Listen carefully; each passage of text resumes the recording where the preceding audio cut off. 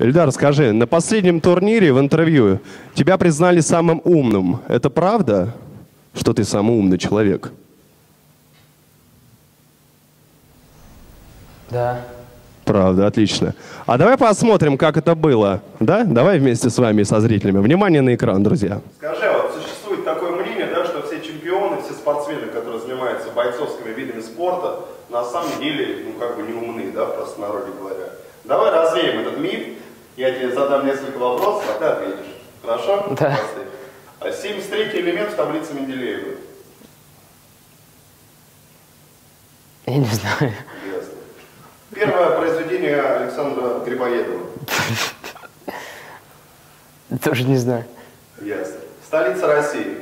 Москва. Ну да, я же, это стереотип, действительно все нормально. Эльдар, скажи, а что бы ты сделал в первую очередь, если бы ты стал президентом Российской Федерации?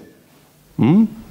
Ну, я бы сделал... Ну, клуб Ярополк у нас же один.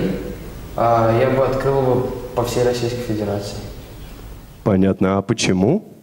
Ну, я считаю, что то, чего учат в клубе Ярополк, э, должны учить по всей стране. Ну что ж, спасибо, Эльдар. Друзья, встречайте, воевода Эльдар, Эльдар. Мне 14. Спортивный клуб Ярополк. Ваши аплодисменты, друзья, громче, выше, интенсивнее. Воу-воу-воу.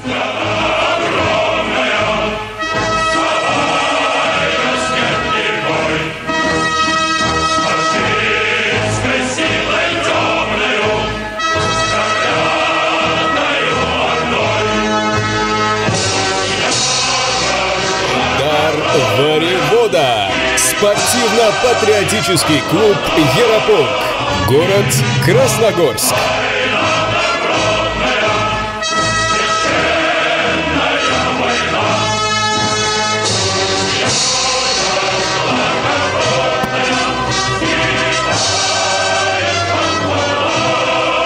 Ну что ж, друзья, в первом